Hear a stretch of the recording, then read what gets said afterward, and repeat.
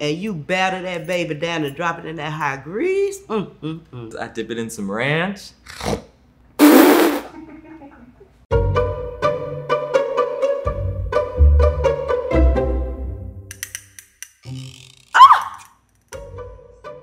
I don't even want to say this out loud. I'm disgusted. Southerners do not eat banana and mayonnaise. I'm about to get ill right now. The major banana, banana and mayonnaise. Oh Lord, have mercy. Do Southerners actually eat banana and mayonnaise? My mother does. Um, I've never tried it because mayonnaise is not on my list of things that I just love. But um, she says it slide makes it slide down easy. I know it's gross. It's so gross. But just let's say a peanut butter and banana sandwich. Some people say, and they swear by this, if you put mayonnaise on the peanut butter and banana sandwich, that that acts as some type of lubricant, where the, the, the, the peanut butter won't stick to the roof of your mouth. I've never been brave enough to try this, but some people swear by it. Do Southerners actually eat peanuts and Coke? Peanuts and Coke are amazing. If you haven't tried it, you really should try it. Girl, have you ever had that? I love peanuts and Coke. Ew, no. Personally, I don't even like Coke. I don't know where that came from. But I'll put some peanuts in it. Wait. You do put them inside of it. But you know what? You can't find Spanish peanuts. It's got to be Spanish peanuts. That's what I, that's what I love. I think my mother has though. And she's like super southern. So I think she probably would eat peanuts and Coke. I don't have any experience with peanuts and Coke together. Is that a combo that most people have or? When I was a little girl, I used to eat that every Saturday. That's when I got my allowance. So I always buy me a little Coke, then the Cokes were small then. You know, they cost a dime. I know that's like in the ancient age, but anyway, the peanuts cost a nickel. But yes, we really do eat peanuts and Coke. I don't have any experience with chocolate gravy. Ew. Is that like melted Hershey bar? I don't know if it's just melted chocolate or chocolate with gravy in it. I don't know nothing about no chocolate gravy. I wish somebody would ask me to. I don't know nothing. No, no, no. Now, is that like what it's called? Like a, a chocolate fountain? We call that the chocolate gravy. Are we actually talking about gravy on your potatoes and chocolate so that you just can jump straight to dessert? Ew. Listen, you remember at CiCi's back, back, back in the day, like the OG CiCi's pizza, they had that chocolate pizza that they discontinued. Like, if that's chocolate gravy, then yes, and I have it, and I miss, I miss her. CiCi's bringing back. Chocolate gravy on biscuits are it's amazing, and you will if you ever try chocolate gravy.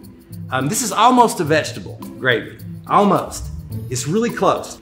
You could even dip anything in chocolate gravy, really. You could dip a shoe in chocolate gravy and it would be good. It would be really good. Actually, I think Southerners do eat pepper jelly.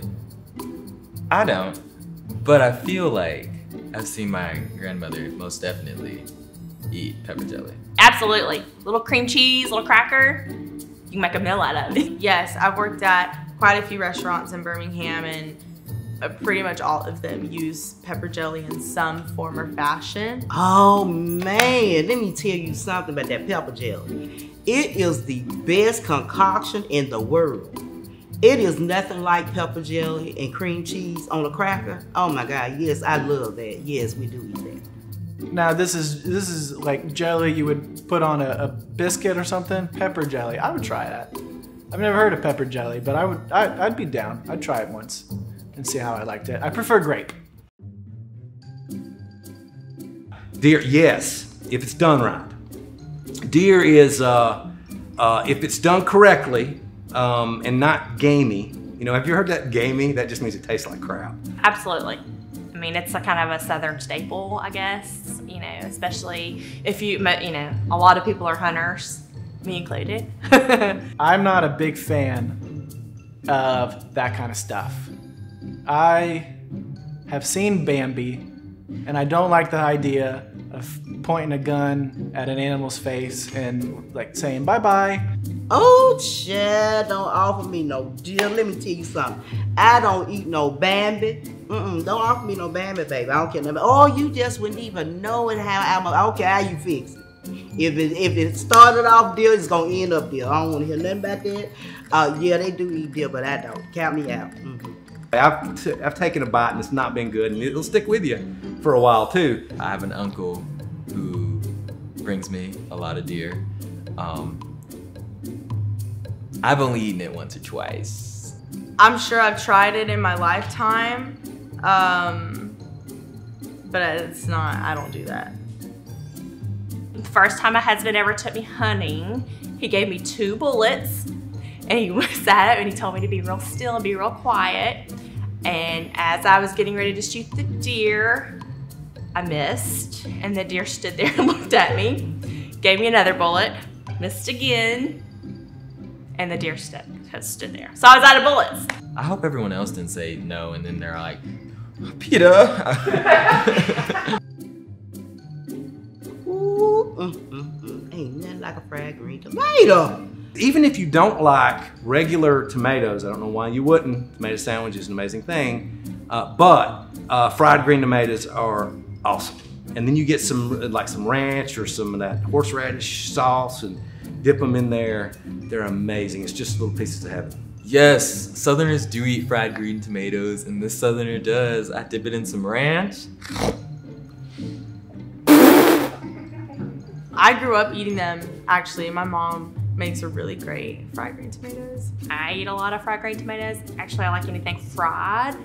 Um, and if it's a vegetable, you could probably fry it. So In the South, you can pretty much fry anything, and we'll try it. And you batter that baby down and drop it in that hot grease. Mm, mm, mm. Yes, honey. Have you some peas with it and some fried chicken and some fried. corn. Yes, we eat that fried green tomatoes. Mm, I'll take some.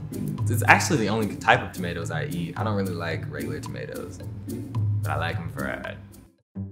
do Southerners actually eat alligator? Um, if you're from Louisiana, probably. It depends on what area of the South you are. I think alligator is one of those things that we can't frame it completely in the South. I know if if uh, you have an ocean or a swamp nearby, that's a, a great delicacy. No, I'm gonna say no. Southerners don't eat alligator. Maybe people from Florida. I'm not from Florida, so I wouldn't know. Yes, I've had it multiple times. I'm not gonna lie. It's good. I had some alligator in New Orleans, and it is uh, it's, it's, it's good. I mean, I would say it tastes like chicken, but it doesn't. Uh, it really, t- to me, it had, was a, a, a fishy taste. It was more of a um, kind of similar to catfish, I thought. Alligator. Mm, mm, mm. Now, I think they got that on some kind of menu at a seafood place. But as for me and my house, no, I'm not eating no alligator. Mm-mm. I don't want to see no, I don't wear alligator, okay? Let, let you know how I feel about alligator. If you're from Louisiana, yeah, absolutely. You probably eat an alligator, and you might have even caught the alligator yourself. So, I mean, you're rolling through Florida, you gotta get some gator, you know? Cornbread and milk. I think. No, no, we don't eat cornbread and milk. yes, um, I grew up eating cornbread with buttermilk. So, absolutely that they do. Let me tell you something. Cornbread and milk. My parents ate that all the time.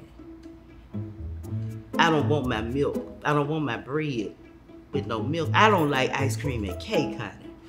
But yeah, they do eat that. I don't know why, but yeah. I- I think it's absolutely impossible to go to a um, a family get together and someone not provide the cornbread and milk, whether you like it or not. It's almost kind of a uh, uh, one of those staples that, that Southerners are taught to enjoy. I don't get it.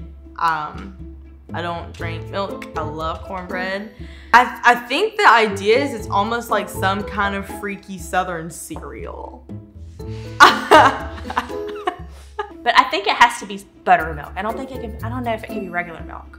And they swear by. Ooh, child, just give me a big whole cake of cornbread and, mm, and buttermilk at that. That's what it co- ooh, mm-mm. Now, yeah, they do eat that.